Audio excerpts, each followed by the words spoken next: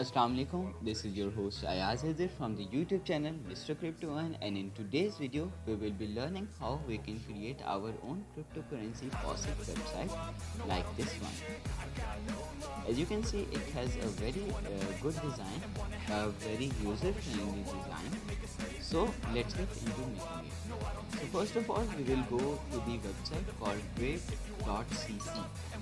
Now we will navigate down and click on GR8 Faucet Lite. Clicking on uh, GR8 Faucet we will click on here which is download. Some of the uh, features of the website you can view on the uh, past page. Now, as you can see, the script has been downloaded. So uh, this is the domain which I will be uploading the script to. As you can see, there is nothing on this domain. So let's go into my web hosting.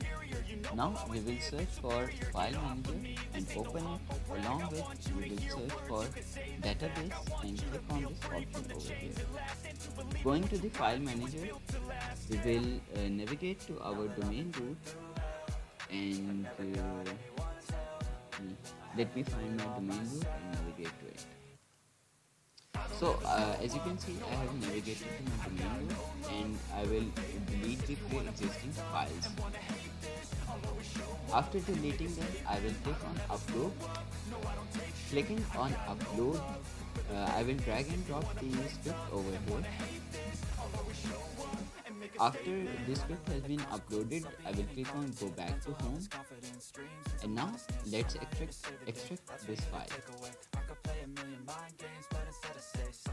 On extracting, I will go into the folder and select all of these files, then uh, move them uh, into my domain. So clicking on more files, I will go back and as you can see now we can delete these two files because we no longer need them. Now we will go to our domain and refresh As you can see it's giving me an error that they are having an issue connecting with our database. Don't worry it will be fixed soon. So let's fix fix this error. To fix it, go to MySQL databases which we opened previously and now we will give any name to create database. Now, as you can see, the database has been created.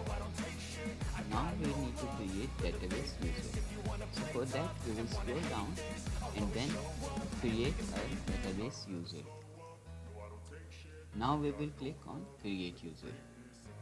As you can see, the user has been created. Now I'll click on go back. And the third step is to link the user with the database. Now I will select the uh, user and the database which we just created and click on add. Upon clicking on add, I will click on all privileges and click on make changes. Clicking on main changes, you can see that the privileges has been changed. Now we go back onto our file manager and uh, side click on the configuration file, click on add. Now uh, we will uh, input the database and the user name for the database in here. For my instance, I'm using all of these details same. I have the same password, same username and the same uh, database So I will uh, click now on save changes and click on OK. As you can see, the changes have been uh, successfully completed. Now we will go back to our domain and refresh this page. As you can see, it's giving me an error that it's unable to handle this request. So let's sort this error. For that purpose, we will click on, uh, we will go back to our cPanel and then search for PHP. Now click on this option which says select a PHP version. As you can see, I am currently using 8.0 as my PHP version. So I will lower it a bit to 7.2 and set as current. Let's wait for the changes to reflect. As you can see that uh, the PHP version has been changed. Now let's refresh the domain.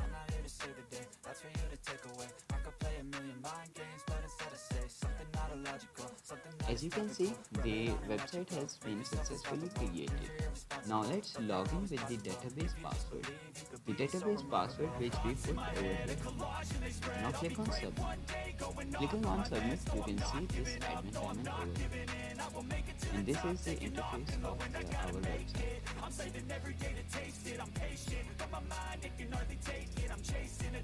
this is how our website is looking so far. after we uh, put all of the micro wallet details then it. will be seen as this one. So this was all for today I will bring out the next part in which we will go through the customization of this product. I see you guys in my next video. Till then, it's Allah Hafiz.